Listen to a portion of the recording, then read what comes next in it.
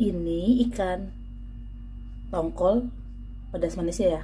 Ini enak banget ini. Yuk kita makan dengan nasi hangat ya share nih. Nah, ini tongkolnya nih tongkol pedas manis atau balado ya.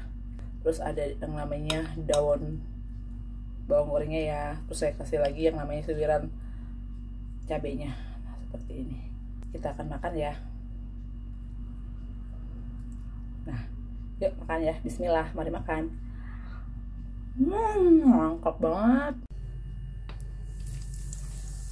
Kita tongkolnya. Tongkol potongan. Setengah kilo kita goreng.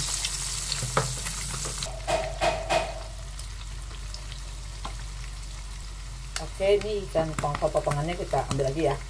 Segini aja udah cukup karena kita ingin ini jangan terlalu alot ya kalau untuk kematangan dia agak alot. Seperti ini ini akan kita buat bumbu tumisnya ya. Kita goreng ya bumbunya bumbu baladonya nih.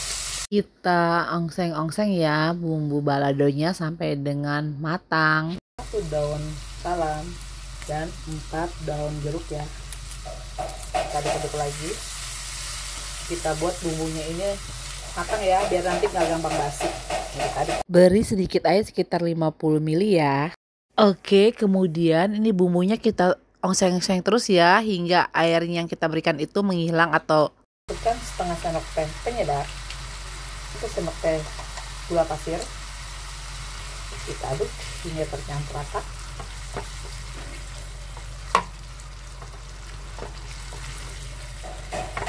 Bisa tes rasa ya apakah rasanya sudah enak atau belum ini udah wangi banget ya wangi harum gitu ya. Kita masukkan ikan tongkol yang tadi kita goreng ya. Jadi gorengnya itu setengah garing aja. Kalau ikan tongkol digoreng super garing ntar dia alot ya. Ini dia. Kita aduk lagi hingga tercampur rata. Ini wui udah enak banget.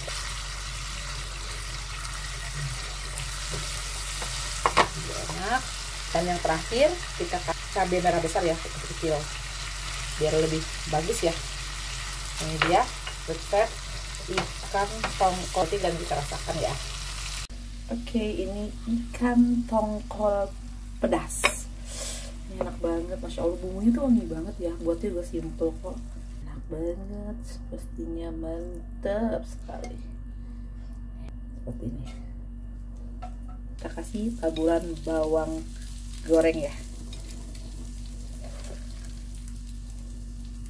Tereng, ini dia ikan tongkol balado atau ikan tongkol pedas. Pedas manis ini enak banget. Yuk dicoba ya resepnya.